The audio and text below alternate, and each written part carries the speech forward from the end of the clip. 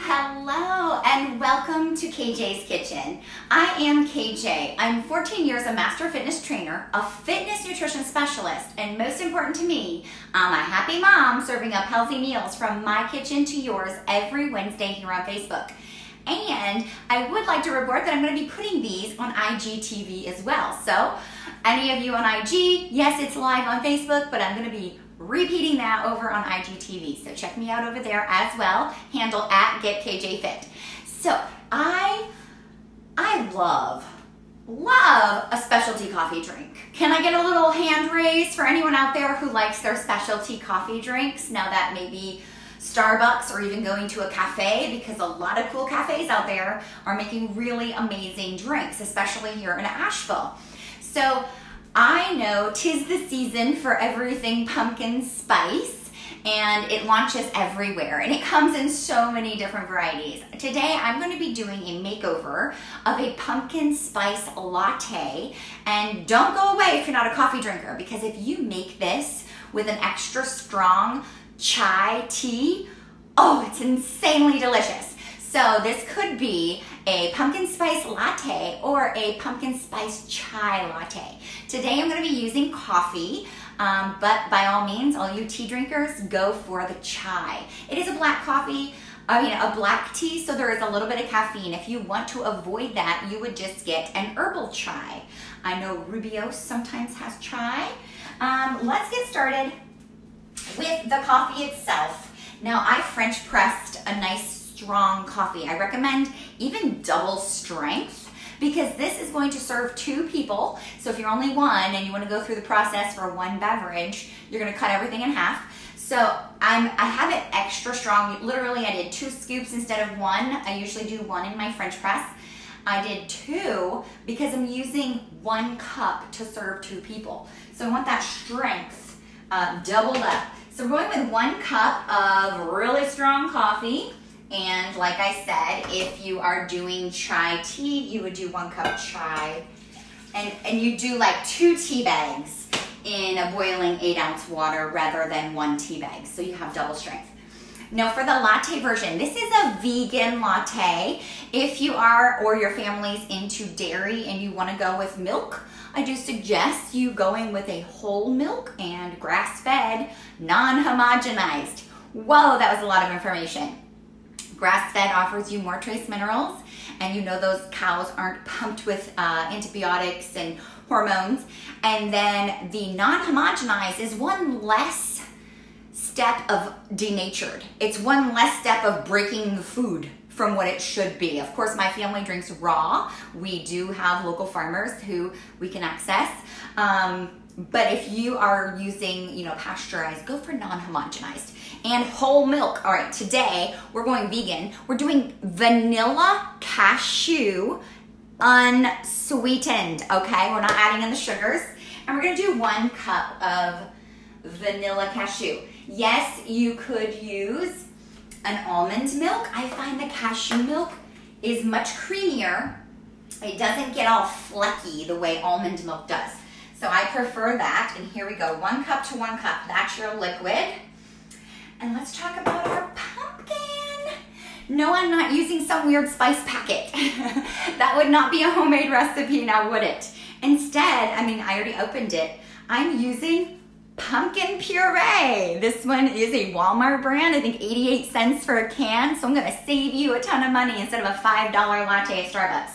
Um, and it's loaded with fiber, very low carb, and a bunch of vitamin A, some vitamin C, and iron. So we're gonna pump up the nutritional value of our coffee drink. Instead of reaching for a spice packet, we're putting in the real deal.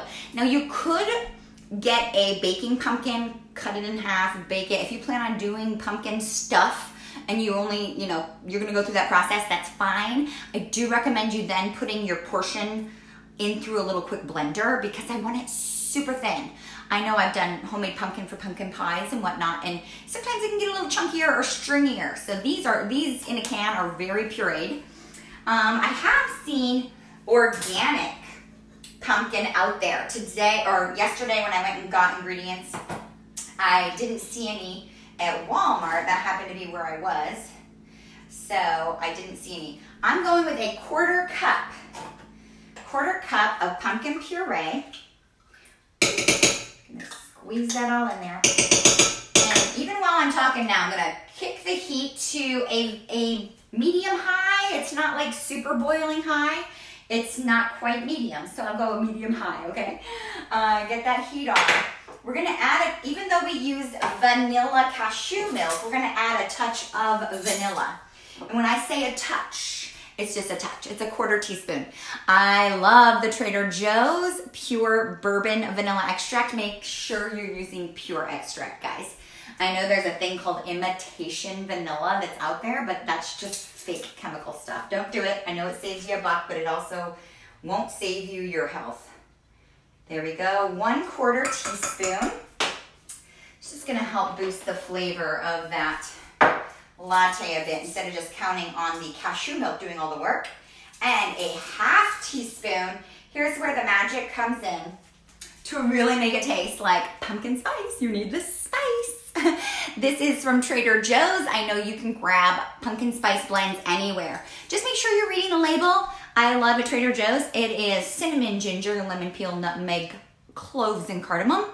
There's nothing that says modified food starch or uh, oats or anything crazy because in blends you can get the craziest things. So do read your label. This is a half teaspoon of pumpkin pie spice. Now guys, I don't recommend you doing a rounded teaspoon. So take your time, make sure it's only a half a teaspoon. We're not gonna round it up today. And to sweeten it, here's also where you can get a little more creative or do it according to your diet. If you are a sugar person and sugar is fine with you, you'll go for sugar. Um, today, I think it also brings in the fall flavors to use maple syrup. Now, Pure, again, this is a Walmart. I went to Walmart to grab all these things today. Um, great value brand. It's Pure. Pure maple syrup. I don't know if you know better, but if you're buying anything like an Aunt Jemima or any of these other syrups that aren't syrups, I remember shopping with a girlfriend once I've never grocery shopped with her, and she grabbed the Aunt Jemima kind of thing. And I was like, What? You give your kids that? And she's like, What are you talking about? It's syrup. And I was like, No, it's not syrup. Like, read the ingredients. There's not even syrup in there. There's nothing from a tree or maple at all. And she looked, and like the first ingredients, like, I don't know, corn syrup, you know, and then sugar and all these things. So she's like, What? Put it away, and she grabbed herself maple syrup. The only ingredient on there should be maple syrup. Okay, cool.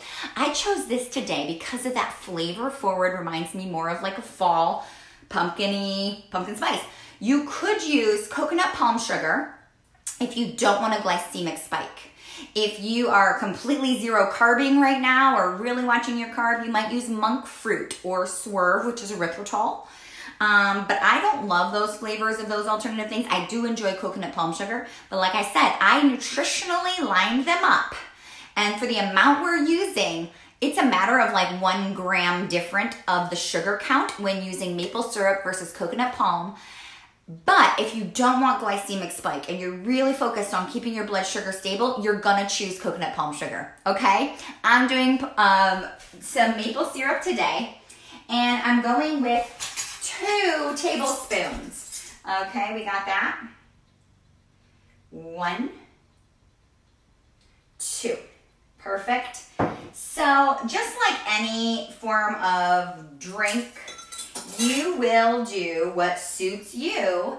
If you, when you drink your coffee, are all about like a a, a, lighter coffee. You're going to maybe add in some heavy cream, but do know it will take off the nutritional value a little. It will be adding in some fats. I recommend you doing an organic heavy cream uh, to lighten the coffee.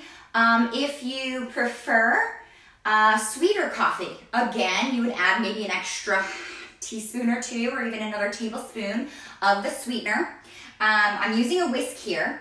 So you know, because that pumpkin puree, it feels thick at first. It's gonna thin out as I'm, as I'm stirring. And I want you to make sure it does not boil, okay? We're not gonna let this boil. I'm gonna put my finger in. Whoop. it's already almost hot enough to, to, to serve. And that is because the coffee I just put in that French press was already pretty hot. If you have yesterday's coffee or the coffee has sat a while, it will not be um, as hot or go as quickly. You might be here on the stove for like five minutes, which is still probably a whole lot less time than if you had to go to Starbucks park your car, go in, place your order, tell them your name. It's going to come out wrong. You ever notice Starbucks cannot figure out your name? And then you have to wait for it in line. So I'm saving you time, saving you money, and I'm going to tell you the nutritional differences right here of these two. Now, me personally, I I recommend you using a Sumatra um, I'm going to go ahead and pour this into a nice cup.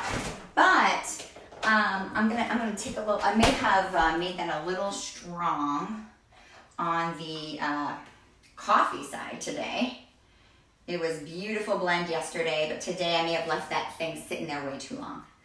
So let's pour it into a cup. I'm going to show you. You could opt for a Fill your cup. You could opt for putting on whipped cream. I hope it's homemade. Um, but I actually opt for topping it with cinnamon. This is going to add an extra special sweet factor. Just a little dash will do. Um, it'll add an extra sweet factor. This again makes two cups. I'm only pouring one because the rest will go in the fridge for a delicious iced coffee tomorrow. And you're going to go ahead and mm, give it a whirl. Super sweet. Yes, that cinnamon does give it a nice sweet nose when you're drinking. Mm, as I said, if you wanted a thinner or a lighter color, you might add some heavy cream. Um, you could choose espresso roast coffee if you find a good one. I choose organic Sumatra. Sumatra has a lower acidity profile, so it is very, um, it, it's better for you because a high acidity in your body can cause some havoc, including like disease, right? I just want to give you the differences. And I didn't just go to Starbucks site and pick you know, the extra large venti and with whipped cream. I actually was like, what if I was not doing milk and I chose the milk alternative they had on their little website almond milk as an option. And I did tall because this isn't a huge cup of coffee. So I, I'm nutritionally giving you the differences of the KJ pumpkin spice latte and a tall pumpkin spice latte at Starbucks made with almond milk, no whipped cream. Because I didn't give you whipped cream here. So I'm just going to give you some side by side comparisons. Mine is 78 calories. Theirs is 180. So I already did less than half of the caloric load. Uh, fat, I have one gram fat. I'm not a huge person who has to look at fats because if I were to add some heavy cream in here, it would add a little more fat, but theirs is 4.5 grams of fat. Mine's only one. So I did about a quarter of what they have. Carbohydrates, 16 carbs, 16 grams of carbs. Theirs is 31. So let's cut that in half, guys. Woohoo! One gram of fiber to one gram of fiber. We're I and I on that one. And then sugars, I exactly cut in half. Theirs is 28 grams of sugar. Mine is 14 grams of sugar. Now that was using maple syrup. If you really wanted to cut out all sugar, again, you'd be using monk fruit or something. So even if you're not a coffee drinker, grab your really strong chai. I'll show you what. I was brewing this chai today so I could try it out both ways for you. I have a couple chais and a couple coffees. I've been practicing all evening and this morning to, find the perfect recipe. Um, and we kicked Starbucks butt pretty much everything cut in half. So you can save your money, save your time, add in extra nutrients, and save your wallet, save your waistline. All right, I hope this served you today. I appreciate you for tuning in. I ask that you share the love. Share this to your wall. I'm sure there's someone out there that loves their pumpkin spice latte all season long. And for that reason, not only are they wasting a lot of money, they're really not doing well for their waistline. Guys, let's not wait for New Year's to, to get in our best body. Let's start now. Daily daily choices, everything you put in your mouth and in your body can be one step closer to your goal or one step further. And if you love specialty coffee drinks, I hope this will help you so you can be making motion closer to your goals. All right, share this. Thank you, thank you. I will have a live comment, a live link in the comment fields if you want this recipe to your inbox as well as every week's KJ Kitchen recipe. You will sign up on that link. And lots of love. Have a wonderful Wellness Wednesday, and I'll see you next week here in KJ's Kitchen.